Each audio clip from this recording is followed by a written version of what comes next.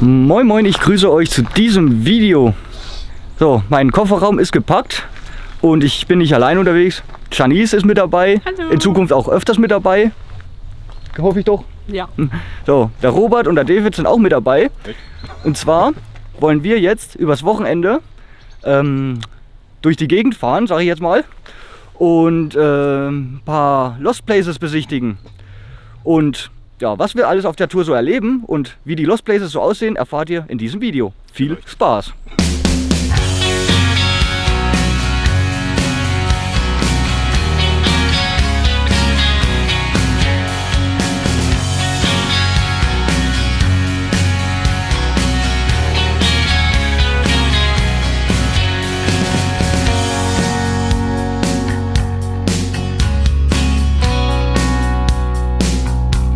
Wir sind jetzt äh, auf dem Weg unser, zu unserem Übernachtungsspot oder eventuellen Übernachtungsspot.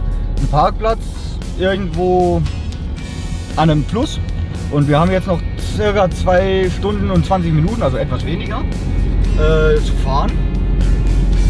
Ähm, der Robert, der folgt uns unauffällig mit seinem Auto. Und das äh, Auto ist auch gut, äh, gut bepackt. ähm, ja, dann, äh, wenn wir den Parkplatz gefunden haben und äh, zufrieden sind mit dem Parkplatz, dann äh, werden wir uns eventuell vielleicht noch mal einen Spot, eine Location angucken. Aber das entscheiden wir dann spontan. Und äh, ja, morgen steht dann äh, die große Lost Place Tour an. Da werden wir uns dann auf jeden Fall verschiedenste verlassene Objekte angucken. Ich weiß nur noch nicht, wie ich das mache. Ich die dann mit in dieses Video reinpacke oder ob ich dazu extra Videos mache. Aber ich denke mal, das werde ich von der Location abhängig machen. Wenn das eine spannende, eine große Location ist, dann werde ich die in zukünftige Videos extra machen und äh, so kleinere, wo jetzt nicht so viel zu sehen ist, die werdet ihr dann hier in diesem äh, Video mitsehen. Ja, meine Kamerafrau, die Janice, die ist auch mit am Start. Hallo. Ja, die macht ihren Job, denke ich mal, auch ganz gut, dafür, dass sie das erste Mal dabei ist. Und genau, wir fahren jetzt erstmal zu dem Parkplatz, schauen, ob der was ist für unsere Übernachtung. Und ja, ich würde sagen, wenn wir dort sind, melde ich mich wieder.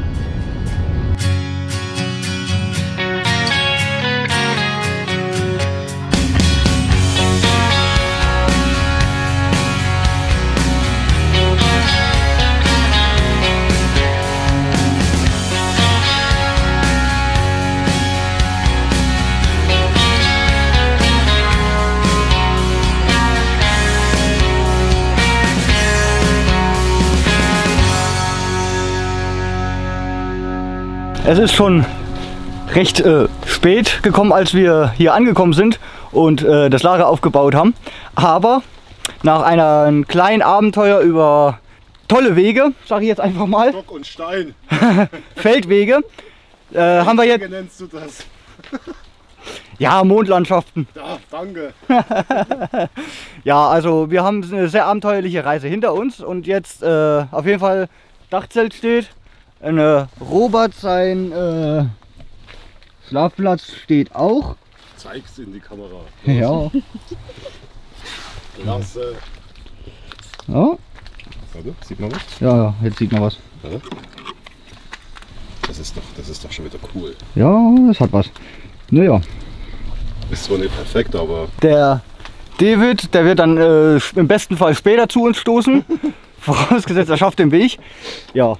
Und wir, wir machen es uns jetzt noch hier ein bisschen gemütlich, weil heute in Lost Place, das wird glaube ich nichts mehr. Und ja, ich würde sagen, dieses Lager hier werde ich euch morgen bei Tageslicht noch mal zeigen, bevor wir dann losfahren und uns die ersten Orte morgen angucken. In diesem Sinne wünsche ich noch einen schönen Abend und eine gute Nacht. viel Spaß beim Video. Guten Morgen! Ja, Wunderschönen guten Morgen. wie ihr sehen Wunderschönen könnt, guten Morgen.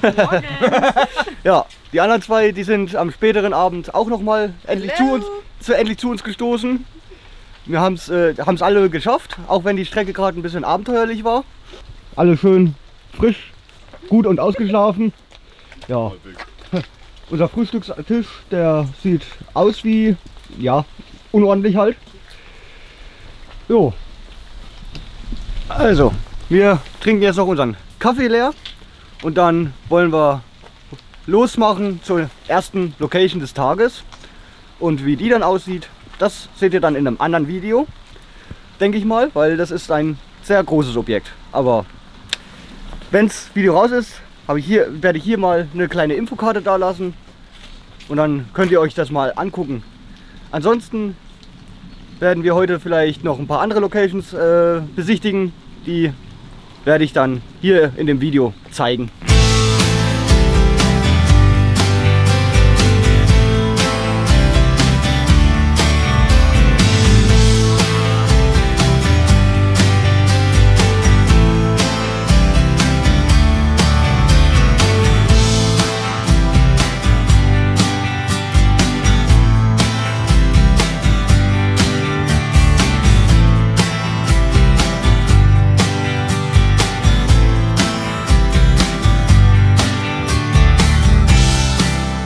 Also, wir haben jetzt unser erstes Ziel am heutigen Tag erreicht, mit ein bisschen mehr Verspätung als erwartet.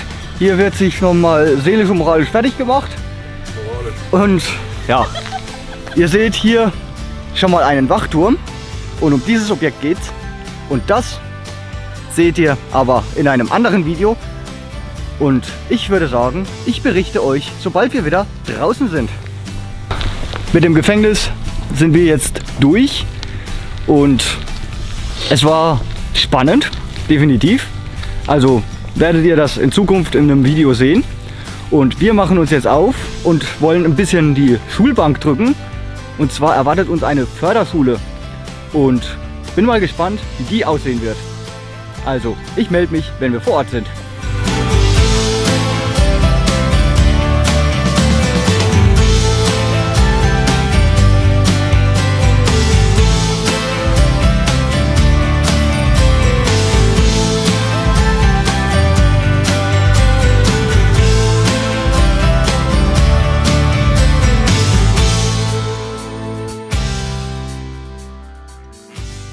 Wir haben jetzt die zweite Location am heutigen Tag erreicht. Irgendwo in die Richtung soll sie sich befinden. Und ja, wir schauen jetzt einfach mal, ob sie sich lohnt. Und ich würde sagen, ich melde mich einfach später nochmal. Also, diese Location, die wir uns jetzt angeguckt haben, die war sehr viel größer als erwartet. Wir haben gedacht, es handelt sich nur um eine einfache Förderschule. Aber es war wohl doch sehr viel mehr als nur eine Förderschule. Und dazu gibt es definitiv auch noch mal ein separates Video. Aber aufgrund der Uhrzeit und der Jahreszeit haben wir das leider noch nicht mal komplett besichtigen können, das Gelände. Aber ich bin mir sicher, wir werden irgendwann, irgendwann in Zukunft noch mal hierher kommen und uns das komplett noch mal angucken.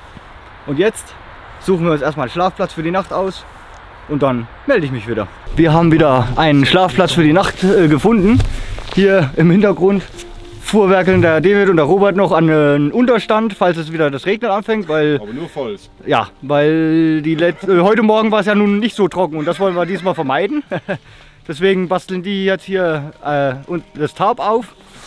Ja, und im Großen und Ganzen haben wir es uns hier eigentlich auch schon wieder gemütlich gemacht. Und ich würde sagen, äh, wie das Lager wirklich aussieht, das zeige ich euch morgen dann nochmal bei Tageslicht. Jetzt, wenn die dann hier noch am Tab rumbasteln, werde ich mich ums Essen kümmern. Heute wird schön gegrillt. Und ja, dann, ja, perfekt. Die bauen gerade das Tab aus und auf und es fängt das Regnen an. Naja, also ich würde sagen, ich melde mich dann später nochmal. Und ich bin der Uwe, ich bin auch dabei. Der Grill steht, wie ihr schon gesehen habt. Die Steaks brutzeln vor sich hin. Und ja, wir machen es uns hier jetzt noch schön bequem und lassen den Tag schön ausklingen. Wir labern jetzt noch ein bisschen blöd. Und ich würde sagen, falls nichts weiter vorfallen sollte, sehen wir uns dann morgen wieder. In diesem Sinne, eine gute Nacht und bis morgen. Ich bin der Uwe. Guten Morgen! Also, die Nacht ist wieder überstanden. Ich glaube, ich habe mir einen leichten äh, Schnupfenzug zugezogen, aber nichts weiter Dramatisches. Einen leichten Bartwuchs hast du auch gekriegt. Ja. Aber das fällt kaum auf. Ich habe mich vor zwei Wochen erst rasiert. Ja, Tatsache. Aber ich habe mich vor zwei Wochen erst rasiert, deswegen das dauert ein bisschen bei mir. Okay. Ja. Naja, und äh, ja, wir sind hier noch schön am Frühstücken. Hier David, Salat und so. Und der Uwe ist auch dabei. Ja, auch der. Ja, da steht noch schön Kaffee und alles. Ja. Und den werden wir jetzt noch in Ruhe austrinken. Dann wird zusammengepackt.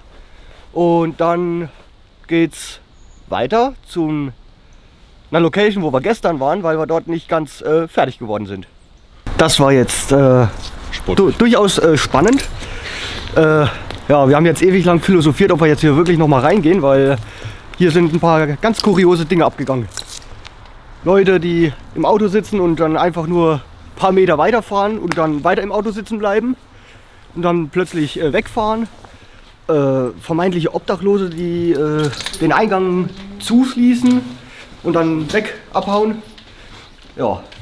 Und irgendein Auto, was äh, die ganze Zeit gehupt hat, als wäre eine Hochzeit oder sowas. Naja, auf jeden Fall von diesem Objekt hier, wo wir uns gerade befinden, haben wir uns gestern schon einen Teil angeguckt. Das werdet ihr dann äh, in einem anderen Video sehen. Infokarte folgt, sobald das Video online ist. Und heute machen wir auf jeden Fall den Rest. Und das seht ihr jetzt in diesem Video.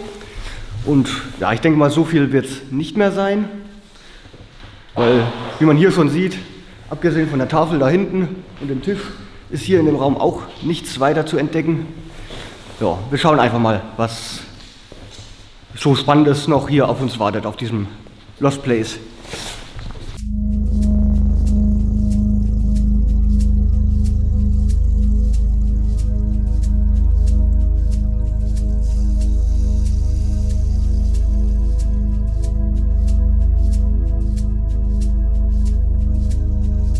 Wir sind nicht allein auf dem Gelände.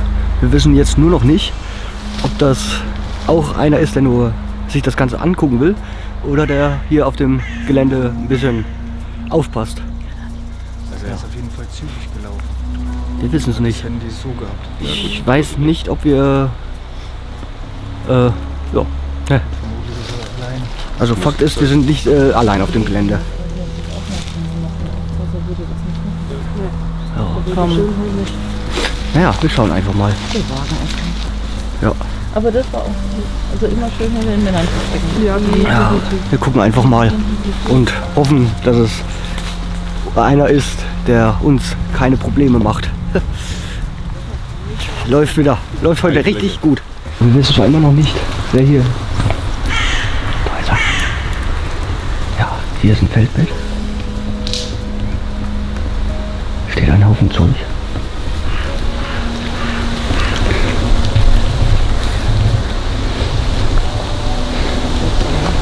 Also ich würde jetzt eiskalt auf und zulaufen. Ja, das sind Arbeiter. Also Ach, gut, die, Also die tun uns nichts. Wir vermuten mal, die tun uns nichts. Hallo, Servus. Morgen. Okay, alles safe.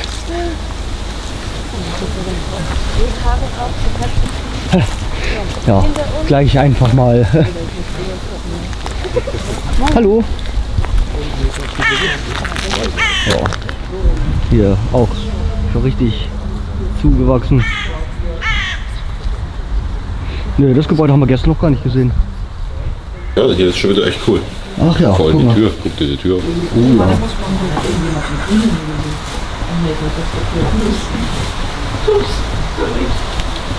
Es liegen halt noch ein paar, noch ein Haufen Unterlagen, kreuz und quer. Also ich würde fast behaupten, das hier war Hauptbüro, Verwaltung und so weiter. Hier ein Haufen Bücher. Das ist schon wieder krass. Das ist schon mal ein Kalender von, vom Jahr 2015.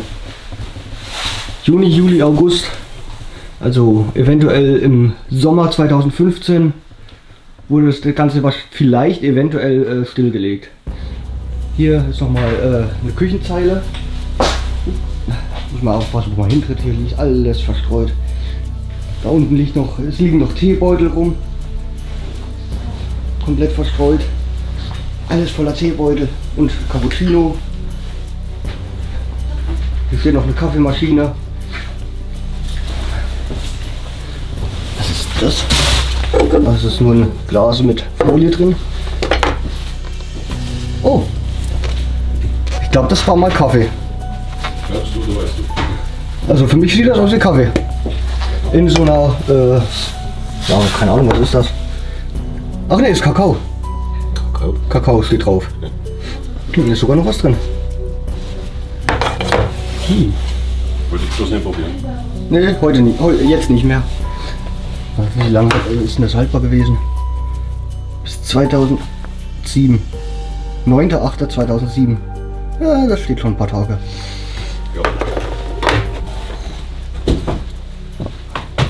Ah, das sind anscheinend äh, Bilder von dem Gelände hier, wie es damals noch im Betrieb war.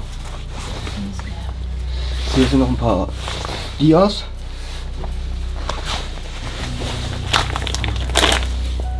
Ach, das sind Dias von Pflanzen.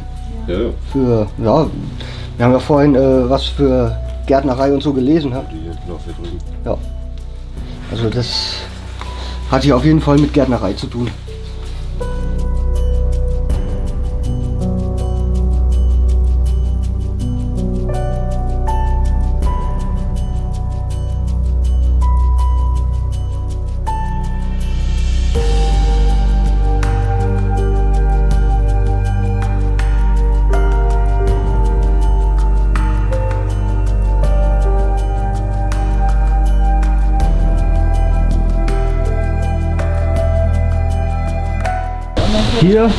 Ist auch nochmal etwas Spannendes. Irgendwie so eine Art Keller. Ah, Komplett zugewachsen. Ja, gehen wir mal gucken.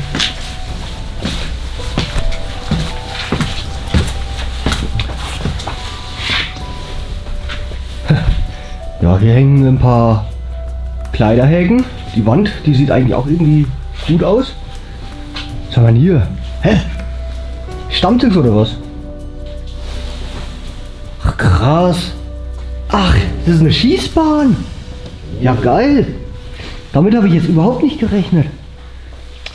Ja, das sieht aus wie eine Schießbahn für Luftgewehr, Luftpistole. Ja, mega. Habe ich jetzt überhaupt nicht mit gerechnet.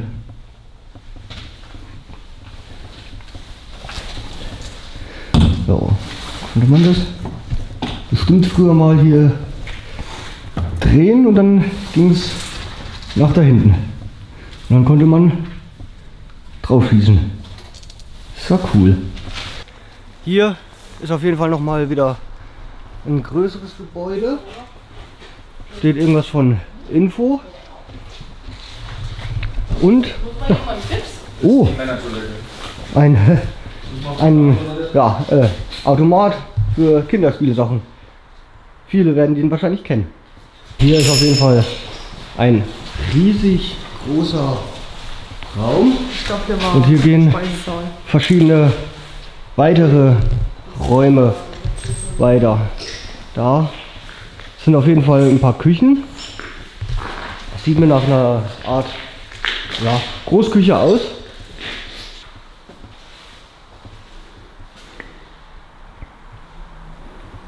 Auf jeden Fall konnten hier mehrere Gerichte zubereitet werden.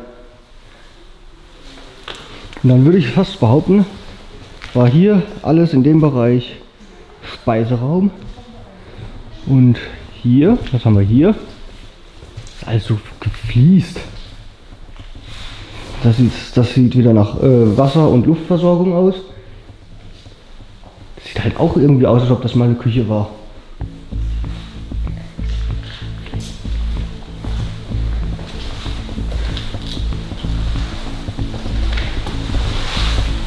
Ja, ich glaube, das war mal eine Küche.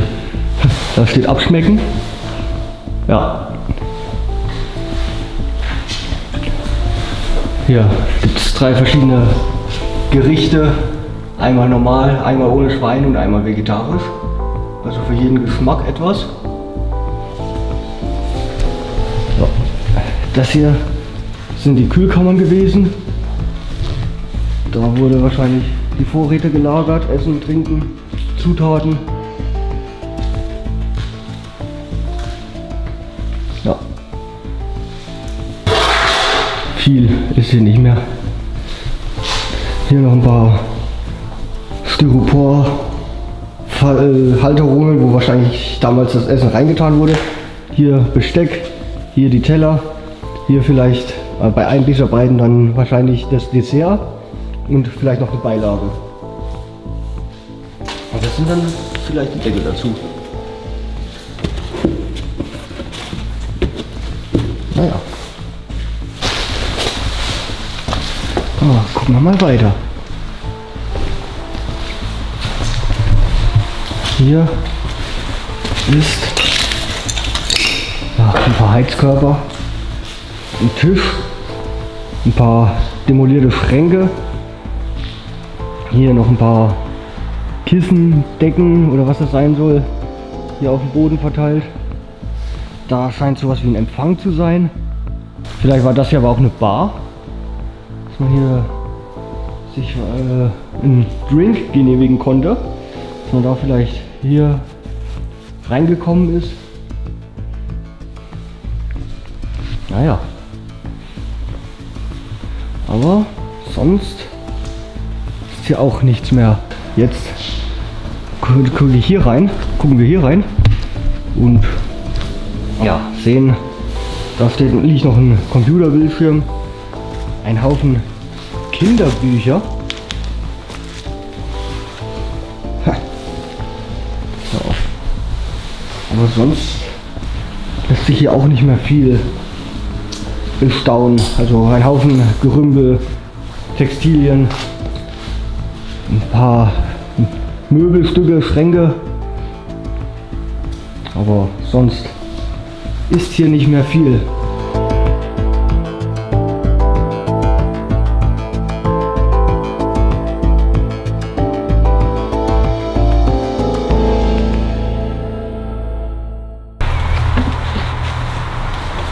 Der Robert schon wieder voraus. Jetzt haben wir hier. Jeden Fall geht's da hinten noch weiter. Ach, da vorne der Eingang. Ups. Also, wir nehmen den Eingang von diesem Gebäude, klettern nicht durchs Fenster. So. Hier liegen noch ein paar Disketten, ein Holzspielzeug für Kinder.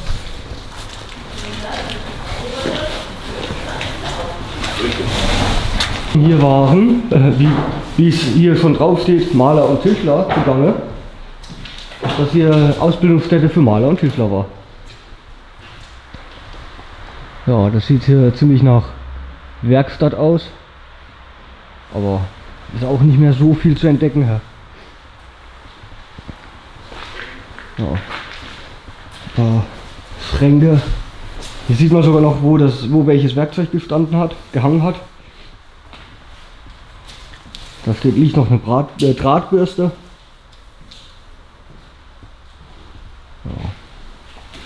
Also ich würde sagen, das hier waren auf jeden Fall irgendwelche Werkräume.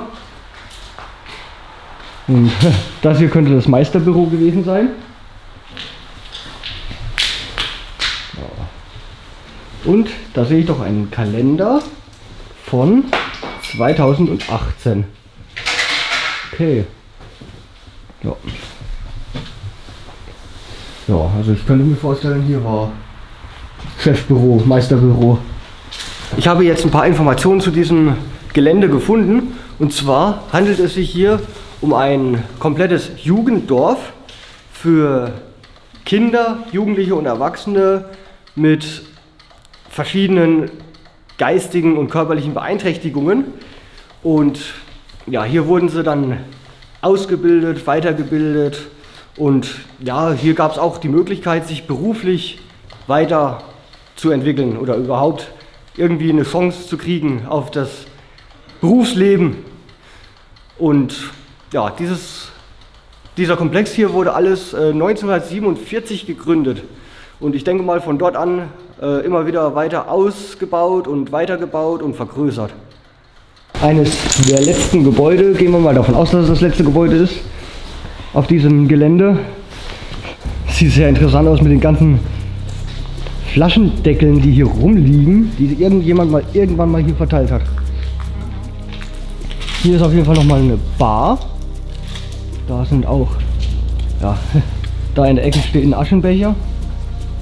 Noch ein bisschen Gläser und ja, sieht aus, als ob das hier mal ein Café war oder sowas. Hier für Salz, Pfeffer, Zucker, solche Halterungen. Da oben das hier, das sieht so aus, als ob da die Karten drin waren. Die Speisekarten oder Getränkekarten. Ja, und von der Größe her könnte es auch hinhauen, dass das hier mal so, Café oder Restaurant war.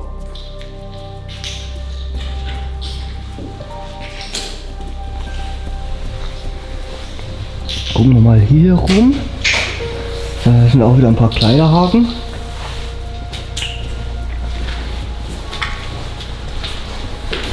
Und Robert, ist da hinten noch irgendwas Interessantes? Äh, absolut nichts. Absolut nichts. Also leere Räume oder was? Also tatsächlich ist da hinten gar nichts mehr. Ja, wenn du sagst, dass da nur leere Räume sind oder so. Die Computer, wo da unten auf dem Boden liegen, das war's. Naja, gucken wir mal. Die Computer. Aber ja, hier sieht man es. Ein leerer Raum. Hier ein paar alte Computer, aber wahrscheinlich ziemlich ausgeschlachtet schon, denke ich mal. Also ein paar Festplatten sind da noch. Hier sind aber noch mehr Computer. Es sind sogar noch Bildschirme. Ein DVD-Player ist hier noch. Noch weitere Akten. Ja. Oh, ich glaube, das hier ist ein Scanner gewesen.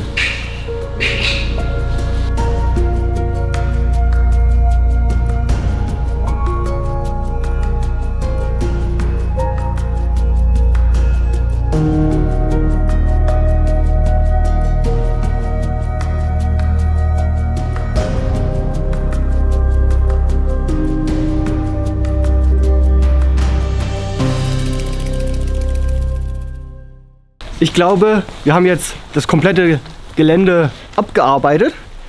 Es war auf jeden Fall eine sehr spannende Location.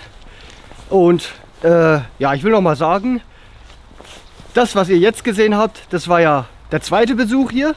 Und wie es am ersten, wie, wie der erste Besuch hier abgelaufen ist, das seht ihr in einem anderen Video, was irgendwann in Zukunft auf meinem Kanal erscheinen wird, beziehungsweise, falls man dieses Video jetzt erst später sieht, irgendwo auf meinem Kanal schon online ist.